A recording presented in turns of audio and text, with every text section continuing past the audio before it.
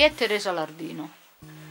Ma è una comunissima ragazza di Aliano, sono, sono cresciuta ad Aliano, io le scuole le ho fatte a Sant'Arcangelo, quindi è un posto nel cuore. Sant'Arcangelo, sottolineo. Com'è nata la passione per la fotografia?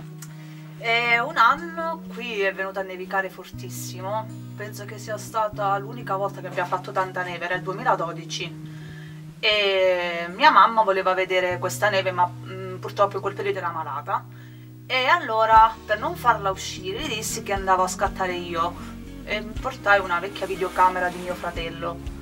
Mi ricordo che stetti fuori quasi tutta la giornata e quando sono tornata a casa sarà che poi ho fatto felice mia mamma e sarà che avevo preso diversi angoli del paese nevato che io non avevo mai visto prima. Da lì è iniziato tutto.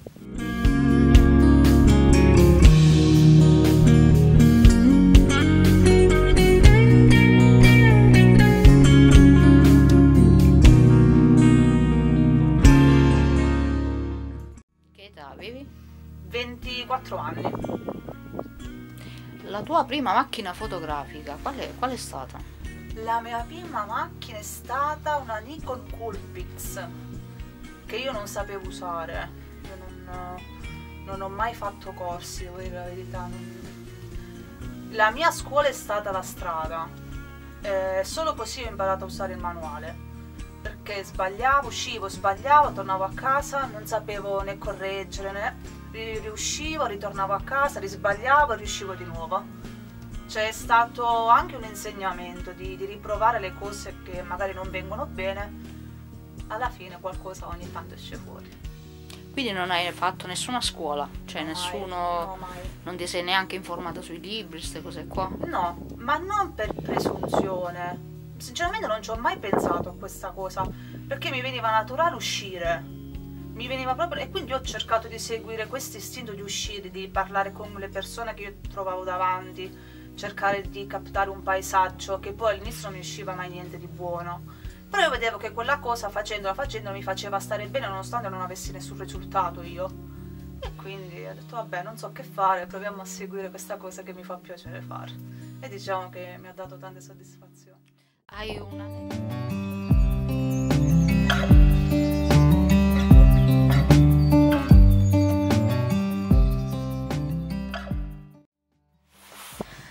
Sei pronta per un'uscita fotografica? Cosa non può mai mancare nel tuo zaino? Beh, naturalmente la macchina fotografica. Basta che c'è quella, indipendentemente dall'obiettivo, indipendentemente dalla marca, ci deve essere quella. E non può mancare. La batteria di riserva sempre, però.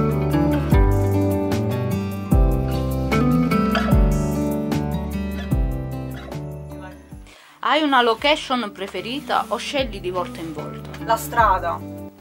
La strada è la mia location. Magari mi fermo con la macchina, se un paesaggio attira la mia attenzione scatto.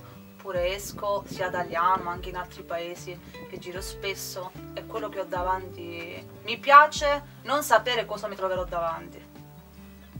Che significa per te una buona fotografia? Emozionare. A prescindere dalla tecnica, dall'angolazione, se emoziona, una buona foto la si può fare anche col cellulare. Ritocchi mai le tue foto? poco.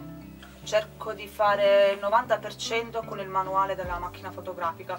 Non uso mai l'automatico proprio per questo, perché voglio decidere io la luce e l'ombra già sulla macchina fotografica. Che consiglio daresti a un giovane che vorrebbe fare della fotografia la propria espressione, il proprio hobby? Ma rimanere se stessi, non, non sentirsi mai arrivati, Ehm, avere di base l'umiltà perché da, da qualsiasi persona si può solo e sempre imparare, non, non essere, non sentirsi mai superiore agli altri, perché ogni persona, ogni cosa, avvenimento, io penso che ti insegni qualcosa e ti dia qualcosa. Per cui bisogna solo assorbirla e trasmetterla attraverso un linguaggio che magari è fatto di un'immagine, non di parole. Dici un po', del tuo approccio preferisci studiare o preparare una fotografia o cogliere il momento? No, studiare mai. Io esco e non so cosa mi trovo davanti, chi mi trovo davanti, paesaggio, persone, oggetti. non assorbo quello che c'è davanti a me e cerco di portarlo a casa, ma non, non studio mai prima. Tutto dipende da ciò che mi dà il soggetto o la natura magari, ma non studio mai prima. Quali sono i tuoi fotografi preferiti? Sebastiano Salgado, preferiti in assoluto. Ti ispiri a qualcuno? No, mai. Non, eh, mi ispirano molto le storie in generale, quelle sì. Le storie di persone oppure dei luoghi in generale, quelle sono di, di ispirazione molto, sì. C'è stato un incontro con qualcuno che si è ri- rilevato importante per la tua crescita? Sì, sì, forse sì. Sì, sì. Era un fotografo oppure... No, no, era un signore che ho incontrato per caso su un treno. Ero a Napoli. E quel signore mi disse, ma non mi conosceva, io non conoscevo lui, eravamo solo vicini di, eh, di posto, insomma. E si parlava di cose da fare nella vita. Lui mi disse soltanto che se hai qualcosa che ti piace continua a fare, ma lui non sapeva che io avevo iniziato a fare fotografia. Insomma, da lì poi è iniziato tutto. Cosa rappresenta per te la fotografia? Tutta. Tutta. C'è, ci sono molte persone che so, si, si appoggiano ad un'altra persona, trovano la passione in un'altra persona, o io la trovo in una passione che è la fotografia. Abbiamo detto che prima ti piaceva fotografare, cioè il tuo genere fotografico sono i ritratti, queste Sì. cose qua, ma realmente c'è qualcosa in più che ti piace nel ritratto prendere proprio? Eh, mi piacciono molto i ritratti degli anziani. Piacciono e cerco soprattutto gli anziani per le loro rughe, le loro mani, perché loro sono le nostre radici in generale, ma sono anche la storia, che purtroppo in questo periodo ci insegna e non ci insegna, ecco, quindi dovremmo tornare un po' da loro per imparare un po' a vivere, ecco.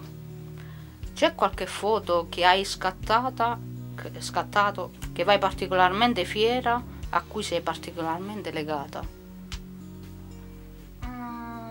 Sì, sì. C'è una signora anziana del mio paese, sì.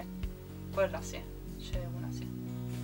E come fai a capire se qualcuno vuole essere fotografato? Chiedi sempre il permesso prima di scattare? Allora, io non chiedo mai il permesso, ma non per mancanza di rispetto, perché se mi trovo una scena davanti che passa una persona e lei non si accorge ne- nemmeno che ha attirato la mia attenzione, io scatto in quel momento. Se poi vedo che mi guarda oppure che mi chiede delle informazioni, io dico semplicemente che stavo facendo un giro fotografico che ho scattato, ma se lei non vuole, io cancello immediatamente la foto perché non mi piace mm, avere mm, qualcosa che la gente non, non vuole che io abbia. ecco. Guardando sui tuoi social, Mm. diciamo, ho notato che prediligi molto sul bianco e nero. Sì. Perché la scelta del bianco e nero?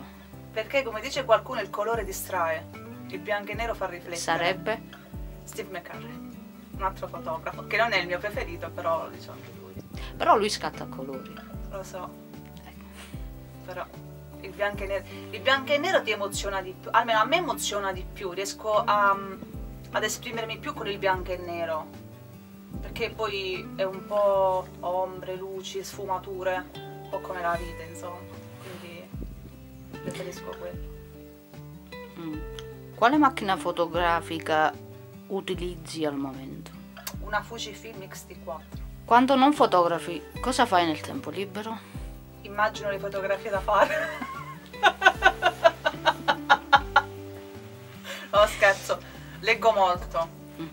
Ti va di consigliare un libro o un film sulla fotografia che ti ha particolarmente colpito? Il sale della terra di Sebastiano Salgado. Assolutamente. È un libro e un film che tutti dovrebbero vedere. E sono andata a vedere anche una sua mostra a Roma a dicembre che riguarda l'Amazzonia. E consiglio anche una mostra di Salgado.